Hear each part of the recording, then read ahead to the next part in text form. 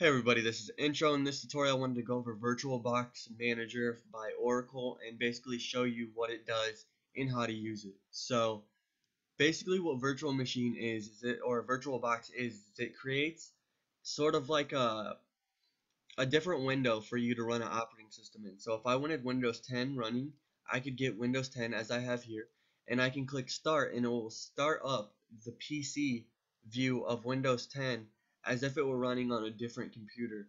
There, that way I can I can allocate some of my memory towards it. So as you see, I have 11.51 gigabytes allocated towards Windows 10.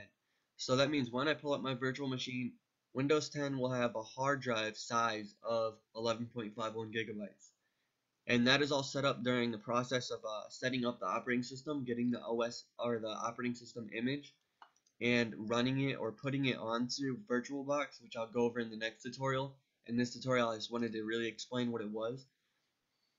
So basically, that's all you need to know. It runs operating systems for you, and once you get into it a little bit more, it also can run virtual networks. So I can have a virtual Wi-Fi, I can have virtual um, routers, switches, um, hubs, all that stuff running virtually on a virtual machine or virtual network.